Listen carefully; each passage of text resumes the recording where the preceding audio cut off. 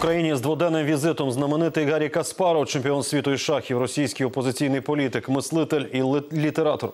Саме він після російської агресії 2008-го в Грузії передбачив, що наступною російський режим атакує Україну. Тож до його думку в Україні прислухаються. Візит Каспарова насичений. Він уже зустрівся зі студентами Національного університету Шевченка, відкрив нову книгарню, дав низку інтерв'ю. І все це у рамках презентації книги його статей Торгівля страхом.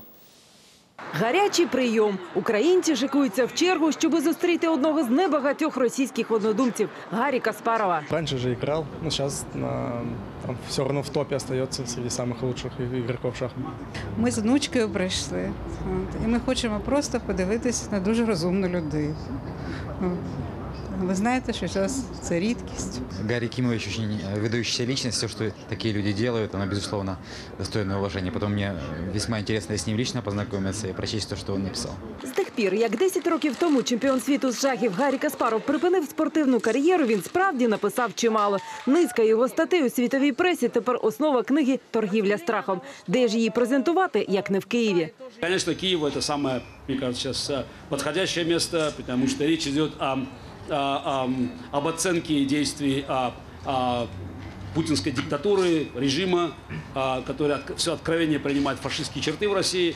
а, И Украина является сегодня просто главным объектом путинской агрессии. У новій книгарні на Хрещатику Гаррі Каспаров ледь встигає підписувати примірники торгівлі страхом. Я э, с Донецкой области, из города Мариуполя, и э, на своем городе, и на своей области э, поч- прочувствовала э, то, что с нами происходит. Гарри Каспаров – это один из людей, который э, в своей стране э, борется. Интересно было послушать его и, конечно, ну и почитать его книгу. На його батьківщині, каже Каспаров, такий ажіотаж навколо книги опозиціонера неможливий. Диктатори в усі часи ховали правду від людей. Коли спалили книги, тепер використовують пропаганду. Але, додає, і вона не вічна. В конце концов, э, ну, люди рано или поздно все равно начинают понимать, что сегодняшние там проблемы, там, скажем, в московском здравоохранении и, там, и грозящие увольнение там, десяткам тысяч врачей, это как-то связано с аннексией Крыма и с войной на Донбассе. Сам Гаррі Каспаров прагне демонтувати путінський режим давно.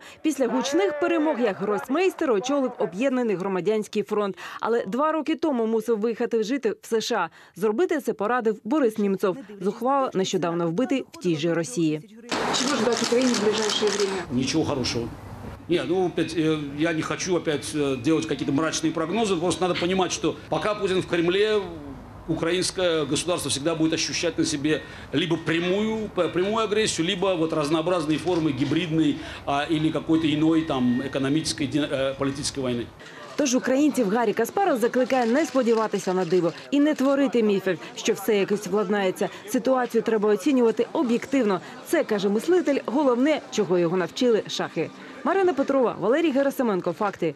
ICTV.